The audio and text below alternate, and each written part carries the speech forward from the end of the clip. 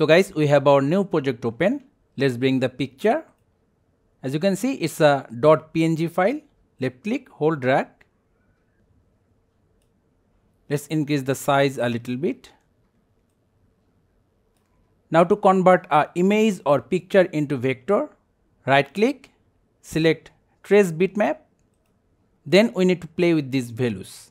Normally for color threshold, I use like 70, minimum area 1 pixel, corner threshold many corners and the curve fit pixels.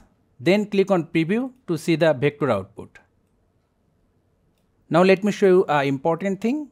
If we increase the color threshold to 100 and see the preview again, see the shadow and the blush is gone. So when using the trace bitmap, try to play with this color threshold to get your desired output. After you are happy with the output, just press on OK.